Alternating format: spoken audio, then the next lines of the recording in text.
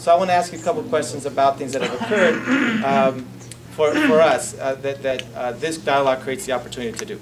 Uh, one, over the last couple of years, a lot of public comments have come to the City Council around some major issues.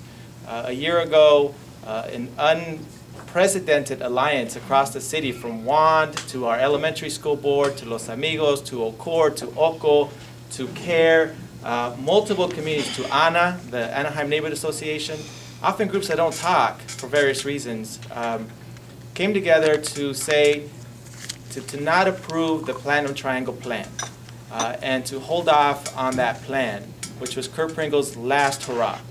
Um, everybody went up to speak, asking them just to hold on. Um, and you did not speak. And, and I asked you to speak on behalf of our children because we knew it was going to overcrowd our schools. And you agreed with me that it would overcrowd our schools and that there was not a school planned in that plan. Um, so you chose not to speak.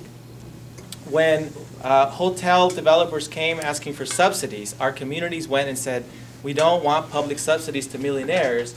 We want a community benefits agreement if you're going to do that. We want a commitment of good paying jobs with uh, affordable housing for those workers and local hiring.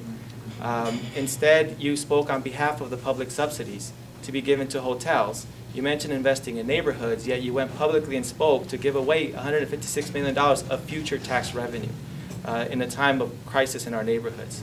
Uh, When we asked uh, you to discuss district elections uh, and to be really clear that we want district elections now, to not go through the expense of a lawsuit, which is general fund money, but to rather have the council vote to put it on the ballot, uh, what you said in public comments was, I support, which was really the, the, the Disney letter that was sent out.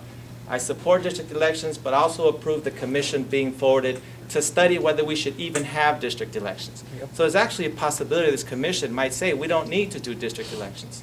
So my question to you, Jordan, is when we've needed public advocacy, it appears that in the grassroots community, you've stayed silent when we've needed you to advocate. But when SOAR, uh, Disneyland, uh, Curt Pringle, and others seem to need a community voice or a local elected voice to speak on behalf of their side, you seem to present yourself and support that side. That's the perception in the community. I'm not asking for a response of why you did or didn't. We can engage that dialogue later, but that's what I think for me personally, because it's not Los Amigos who distanced themselves from, from, from you, it was myself. And Amin could speak to his part as well. It was myself. And we don't, as we know in Los Amigos, endorse candidates as a group. Individuals do. So I want to be clear that when you say that there's been a challenge in the relation with Los Amigos, that's not the case. This group has never said anything publicly about you as a group, uh, or asked you to not come to Los Amigos. So I want to be clear on that.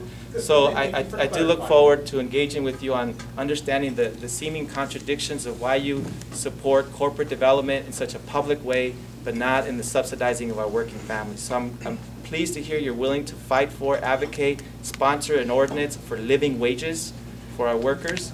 Um, and I'm pleased to hear that you're saying district elections